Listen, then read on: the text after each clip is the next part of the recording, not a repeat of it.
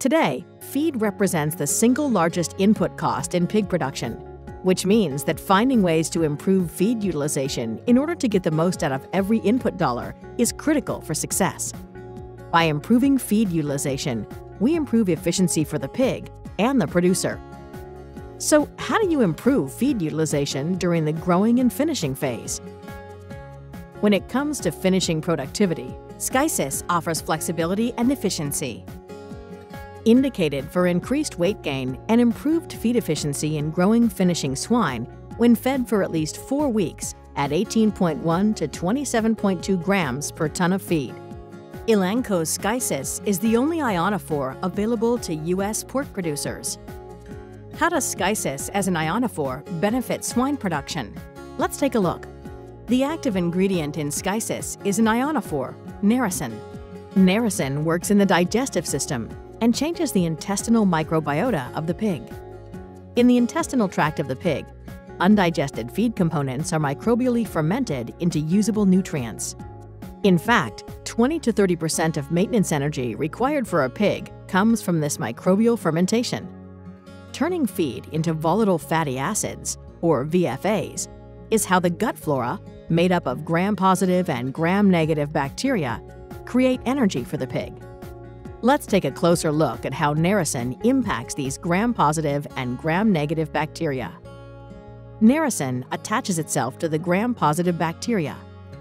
Once attached, narasin causes an influx in sodium and water into the gram-positive bacteria, causing the cell to use its energy to maintain osmotic balance. Ultimately, the gram-positive bacteria cell will die.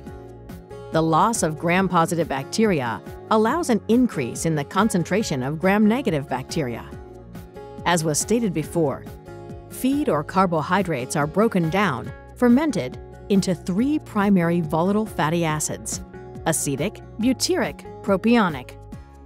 Gram-positive bacteria tend to produce a higher proportion of acetic and butyric acids, while gram-negative bacteria produce a greater proportion of propionic acid. Fermentation by gram-positive bacteria produces more carbon dioxide and methane than that of gram-negative bacteria.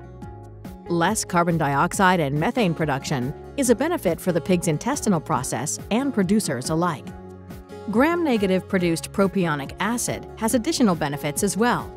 It not only contributes to a lower pH in the gut and provides energy needs for tissues, but it also helps nutrient digestibility, all of which contribute to a more efficient hindgut. Perhaps the most important benefit of propionic acid is the higher level of energy efficiency it offers. Fundamentally, propionic acid favors more efficient energy utilization in the digestive system. Or, in other words, improved feed utilization equates to increased gram-negative concentration in hindgut, which causes increased propionic acid concentration, which causes increased energy availability and growth. And more energy availability for growth benefits productivity. Let's summarize. When fed according to label directions, the narasin in Skycis increases weight gain due to its unique mode of action, influencing a pig's hindgut fermentation. As better feed utilization in the gut drives energy availability for growth, performance potential increases. And that is how Skycis, the only ionophore approved for use in the U.S. swine industry, provides efficiency. Manage profit potential with flexible and consistent finishing improvement with Skycis. Learn more at elanco.us.